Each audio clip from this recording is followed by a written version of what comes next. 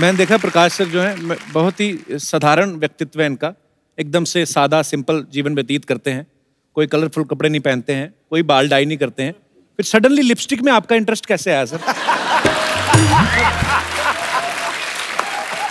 मैं मैं आपको सच बताऊँ जी। कि मेरे साथ बहुत बड़ी साजिश हुई। अच्छा। और वो साजिश आज तक चल रही है। ये बगल में जो बैठी हैं हालाँकि इन्होंने फ़िल्म जो है वो मेरे कहने से देखी, लेकिन एक बार जब देख ली और इनको अच्छी लगी तो इतनी बड़ी इन्होंने साजिश की और इस तरह से फ़िल्म को जिस लेवल पे ये लेके चली गई हैं कि मैं अब उससे बाहर निकल नहीं पा रहा हूँ। तो इस फ़िल्म में काम करने वाले मर्द तो पता नहीं किस बैकग्राउंड में चले गए, उनकी कोई चर्चा ही नहीं कर रहा।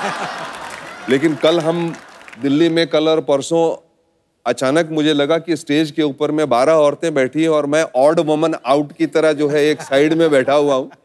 एक्चुअली फ़िल्म की डायरेक्टर जो है वो भी लड़की हैं डिस्ट्रीब्यूट एकता कर रही हैं। फ़िल्म की कास्ट भी जो मेन लीड में लड़कियाँ हैं।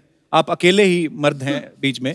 मैं वही कह रहा हूँ ना कि मैं ऑड वुमन आउट हूँ मतलब कि अभी अगर औरत होता तो शायद ज़्यादा बेटर होता था कुछ मुझे जगह मिल जाती लेकिन अब बिल्कुल ही कोई जगह है नहीं हमारे लिए। देखता ये फ़िल्म देखने के बाद आपने डिसाइड किया था कि ऐसे सब्जेक्ट तो मैं डिस्ट्रीब्यूट करती आई हूँ ये कैसे कर ले? तो मैं करूँगा। हंड्रेड परसेंट आप राइट बोल रहे हैं। I actually saw the film and saw that there were four strong women ये स्ट्रॉन्ग औरतों की कहानी थी। इनकी ज़िंदगी में इनको इतनी अपॉर्चुनिटीज़ नहीं मिली थी।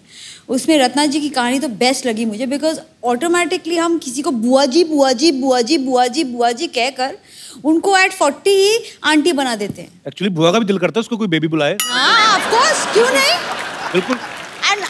What I like about this film is sir इसमें अच्छे गुड लुकिंग मैन हैं और सबसे हॉट आदमी ऑपोजिट रत्ना जी है अच्छा I think that was a big achievement for all the women above 40 year. Clap to all the women above 40. क्या है हम जब हम हम इस देश में जब शौकीन बनाते हैं तब हमको इससे प्रॉब्लम नहीं होती जब तीन बुढ़े खड़े होकर एक यंग लड़की को देखते तब प्रॉब्लम नहीं है बट बुआ जी कहकर बुआ जी को शोभा नहीं देता। अब बुआ जी बताएँगे उनको क्या शोभा देता है। बहुत अच्छी अरे बात है। पीछे से आवाज़ आ रही जब एकता बोल रही थी ना पीछे से आवाज़ आ रही एक नंबर एक नंबर तो हम सब दो नंबर क्या? सब बोल रही है पीछे से। नहीं जब पाजी इधर तीन लोग बैठे बातें कर रहे हैं हाँ। आप पीछे वाले क्यों क्यों सुन रहे हो? तो ये बताओ। हाँ। मैंने मैंने आते ही पूछा था कि सिंहासन का एंगल क्यों बदला? तो एकता आप खुद इतनी बड़ी प्रोड्यूसर है। आप चाहती तो अकेली भी ये फ़िल्म प्रोड्यूस कर सकती थी। तो प्रकाश सर के साथ कोलैबोरेशन का कैसे दिमाग में आया? मतलब क्योंकि इनके भी काफ़ी सेंसर से होते रहते पंगे पंगे इन्होंने मुझे फ़िल्म जब दिखाई तब अच्छा। मुझे नहीं पता था कि मैं ये फ़िल्म करूँगी। लेकिन मुझे फ़िल्म बहुत अच्छी लगी। एक क्या होता है एक आर्ट फ़िल्म का एक जज्बा होता है। आपको डर लगता है कि आप सो ना जाओ you know I was very scared कि मुझे नींद आ जाएगी। जब मैंने फ़िल्म देखी मुझे बहुत मज़ा आया। एक दो पोर्शन से फ़िल्में जहाँ हम लोग ने हमारे प्राइवेट स्क्रीनिंग में देखी हमने फ़िल्म रोकी और स्टैंडिंग ओवेशन दिया फ़िल्म को। क्या बात है? और हमें ऐसा लगा ये फ़िल्म तो रिलीज़ करके रहेंगे। आई I मीन mean, मेरे को मेरे डिस्ट्रीब्यूशन टीम ने कहा सबने कहा, ये आप कर क्यों रही है? इसमें कोई प्रॉफिट नहीं है। ऐसे कुछ चीज़ें हम लाइफ में प्रॉफिट के लिए करते हैं, कुछ चीज़ें खुशी के लिए करते हैं। ये मैंने सोचा है, ये मैंने अपनी खुशी के लिए किया है। हम समाज को बदलने की कोशिश नहीं कर रहे, हम समाज से सवाल कर रहे हैं। वो खुद ही बदल जाएँगे अगर उनको इस बात में कुछ सही लगा तो पर ये बड़ी अच्छी बात है, क्योंकि हमारी सोसाइटी में ना रूढ़ीवादी चीज़ें बहुत सारी हैं। आज भी कभी लड़का लड़की का रिश्ता होता ना तो ये बोलते लड़की खाना बना लेती है? और लड़के को अगर पूछो लड़का काम क्या करता?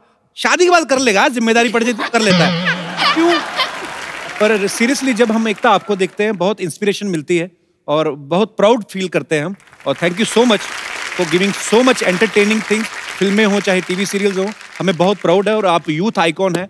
और यहाँ पे आप देख सकते हैं जितनी भी लड़कियाँ हैं ये आपकी तरह बनना चाहती हैं। Can I say one thing about you sir ji. मेरे मॉम डैड का फेवरेट शो आपका शो है। So thank you I love Jeetu sir हमेशा जब भी मुलाकात होती है मैं जितना भी काम कर लूँ वो आपका शो मिस नहीं करता। तो स्वीट मेरा प्लीज़ रिगार्ड देना जीतू सर को अच्छा इंडिया में जो फेस्टिवल होते हैं ना भाजी जितने भी त्योहार होते हैं हमेशा खान की फ़िल्में आती हैं सलमान खान शाहरुख खान आमिर खान। आपने यही सोच के तो नहीं पहले दूसरे विदेशों के फेस्टिवल में रिलीज़ किया कि चलो हमारी पहले उनके फेस्टिवल में तो आए। हालाँकि इसकी बहुत ही तारीफ़ हुई है जितने भी फ़िल्म फेस्टिवल में आपने फ़िल्म भेजी। सर कहाँ कहाँ कितना कितना कैसा कैसा रिस्पॉन्स रहा?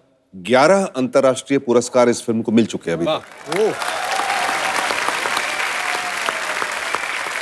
मामी जो इंटरनेशनल फेस्टिवल होता है वहाँ से लेके जापान से लेके स्पेन से लेके लॉस एंजलिस में एक फेस्टिवल होता है और गोल्डन ग्लोब के लिए ये ये फ़िल्म क्वालिफाई कर चुकी है compete करने के लिए। वाह।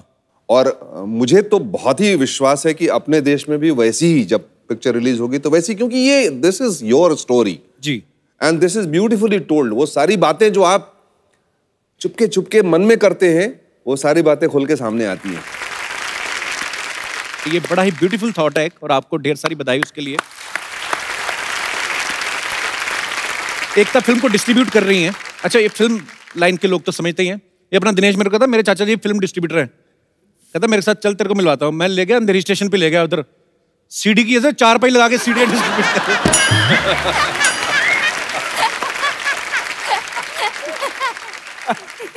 अच्छा एकता आप ज्योतिष में काफ़ी बिलीव करती है ना? जी बिल्कुल। कोई अच्छा सा बताइए ना ज्योतिष मेरा आजकल ना कुछ उल्टा सीधा चल रहा है।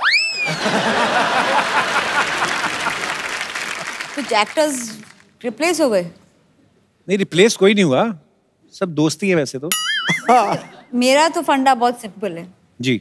जब भी कोई मेरा शो छोड़ के जाता है फेस चेंज हो जाता है। क्या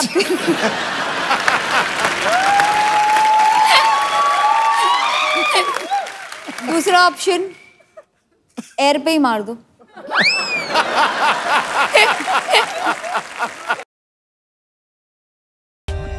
For more updates, subscribe to our channel, click the show links and enjoy watching the videos.